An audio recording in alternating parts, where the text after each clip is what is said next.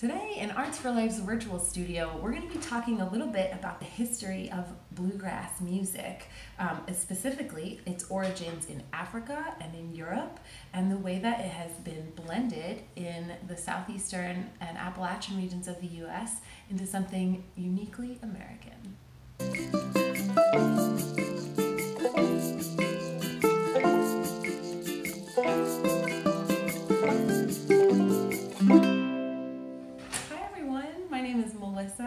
I'm the music teacher in Arts for Life's Asheville chapter at Mission Children's Hospital.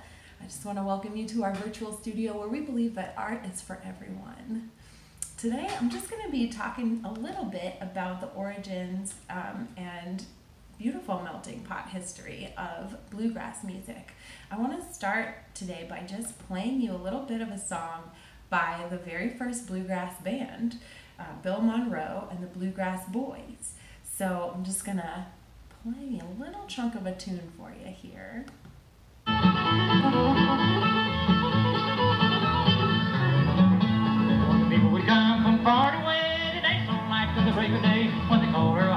Yo, she do, you knew Uncle Ben was ready to go.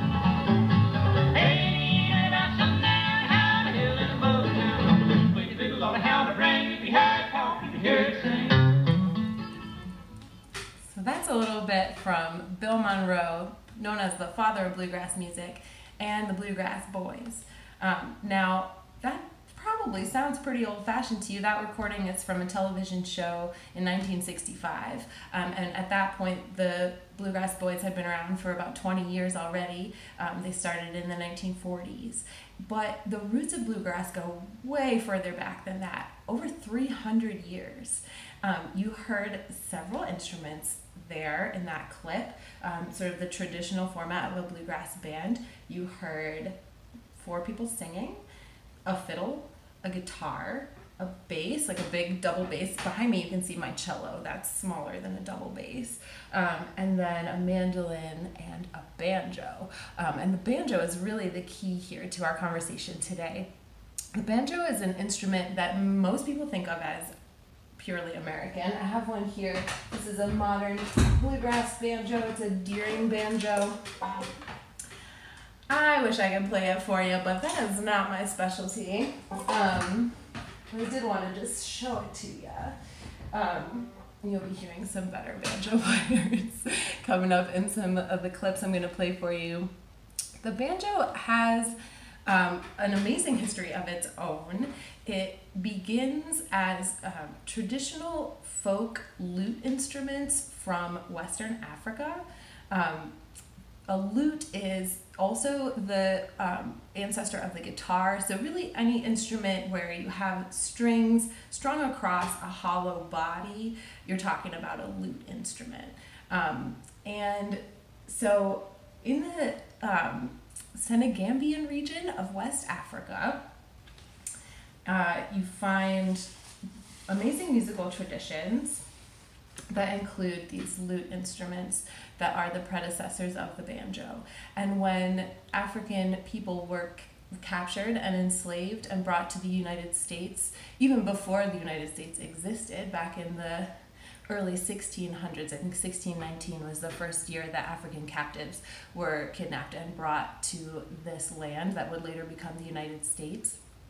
From that point on, you have people coming to this um, to this area of the world, bringing memories and traditions with them of their own traditional instruments and their own musics, their own rhythms, um, and those cultural roots being transported across the ocean inevitably ended up mixing with the cultural roots of the white people that were in the same regions of the United States.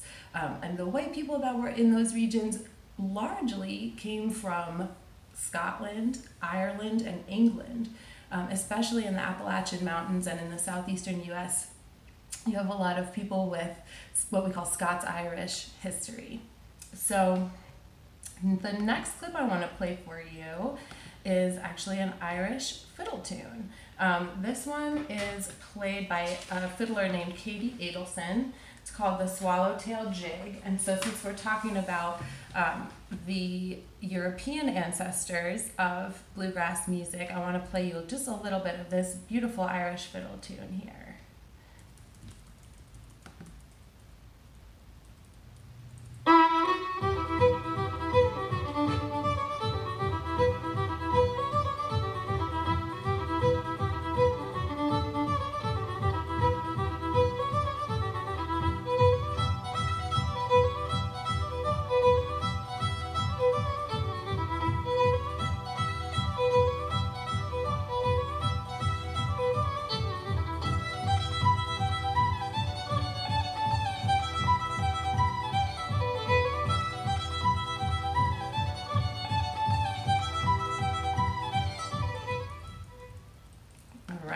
That's the Swallowtail Jig as played by Katie Adelson.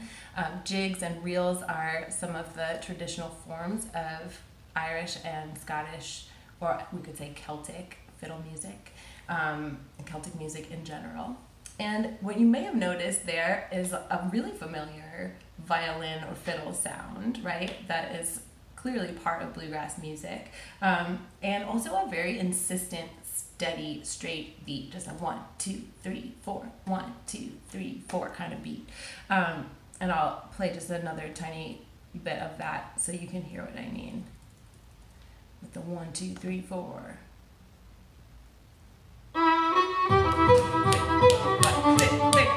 Very, very insistent. I love that beat. It's so driving and it has so much energy to it. And I want you to compare that with this clip of Sana Indaya, excuse me, Sana Indaya, um, a Senegalese master of uh, an instrument that is one of the predecessors of the banjo, one of the ancestors of the banjo, called the akonting, um, a Senegambian traditional instrument, again a folk lute. Um, so here is Sana Ndiaye playing a song called Children.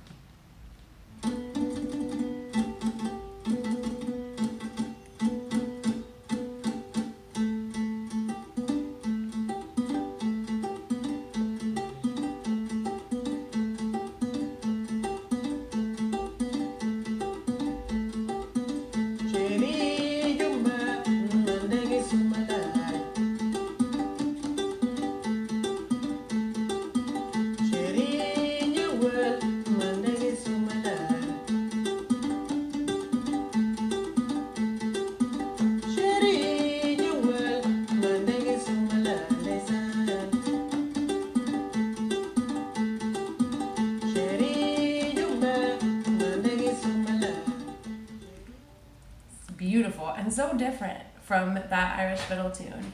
Um, so in this case, um, I just wanted to tell you a little bit just a tiny bit more about the akonting. It's a traditional instrument, as I said, of the Jola people. Um, it's found in Senegal, Gambia, and Guinea-Bissau in West Africa. And it's played in what's called a claw hammer style, um, which is a right hand technique, which is like the picking hand on the banjo or on the akonting. Um, and claw hammer is a word you may recognize if you're familiar with um, bluegrass music because it's also the style predominantly that bluegrass musicians play banjo with. Um, so that same right hand style, the plucking style, and the rhythms of that plucking style come through hundreds of years and thousands of miles across the ocean in our bluegrass music here in the US today. So that's one way that we can see the African roots of bluegrass music. And then you may remember from our first clip with the Bluegrass Boys some clear lines between the fiddle and the overall rhythm that you heard there as well with that fiddle tune that we heard a few minutes ago.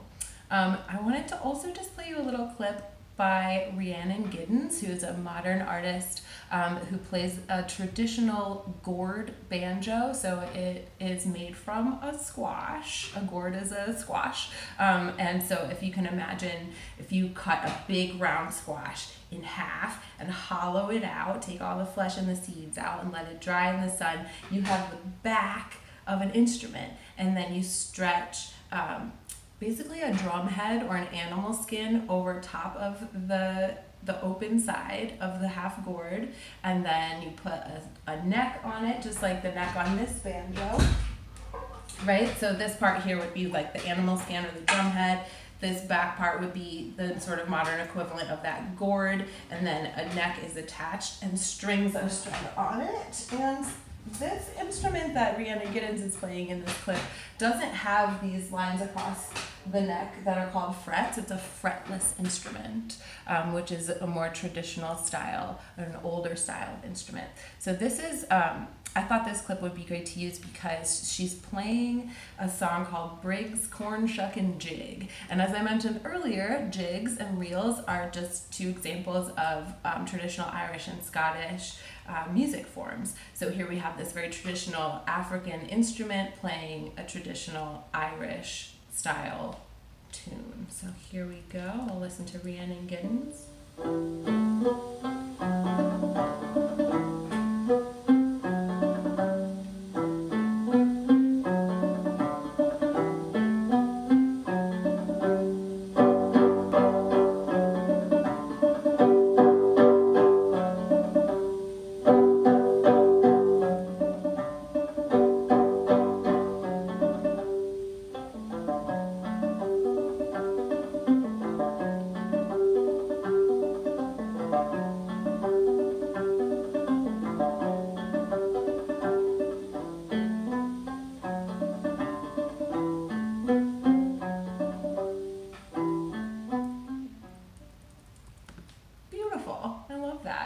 Um, I love the mellow sound of that gourd banjo. I think it's so lovely.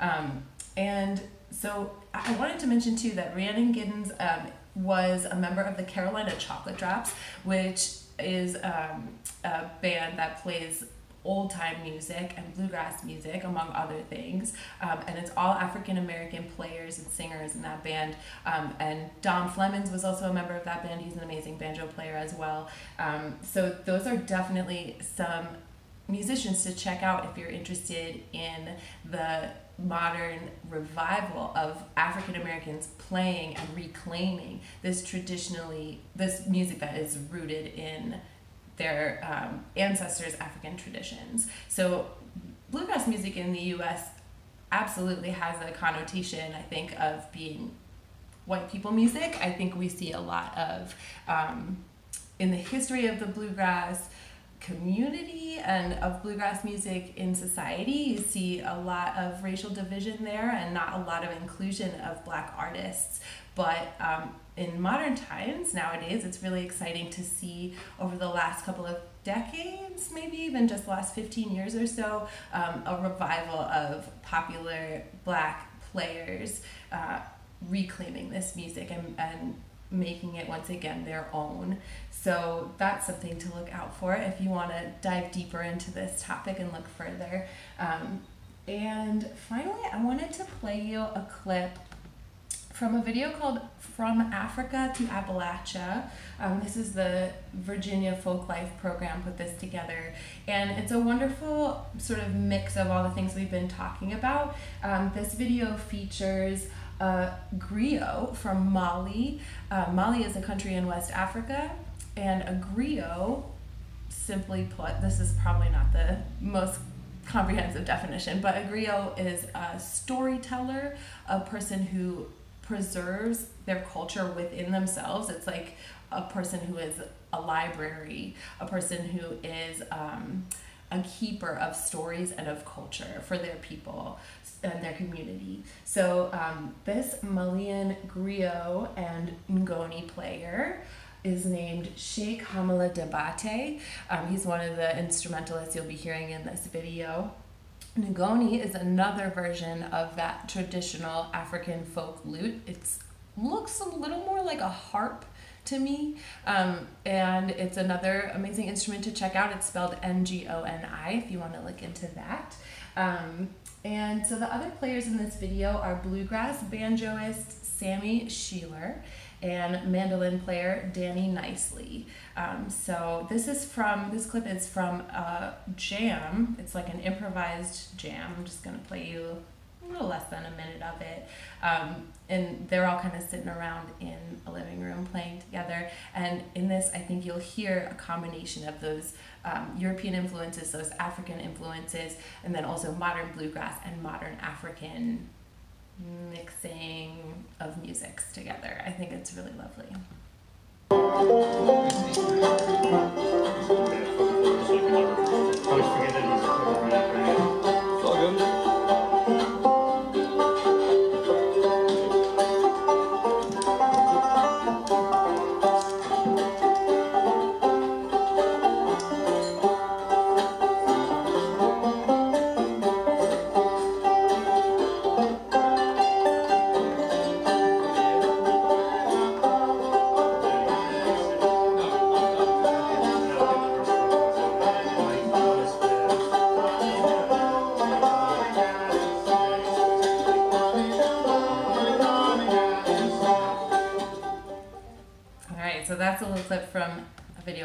Africa to Appalachia, which I highly recommend. There's lots of great stuff going on there, great music and interviews and, and interesting history there too.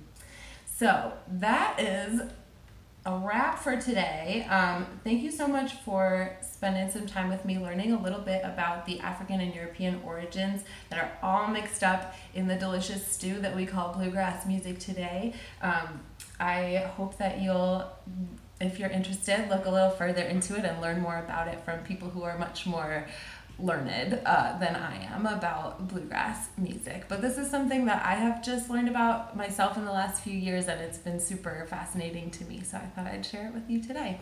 Thank you again for spending some time with me here in the virtual studio at Arts for Life, where we believe that art is for everyone. Um, I hope that if you're making some music today, maybe you'll post a video and tag us at Arts for Life NC.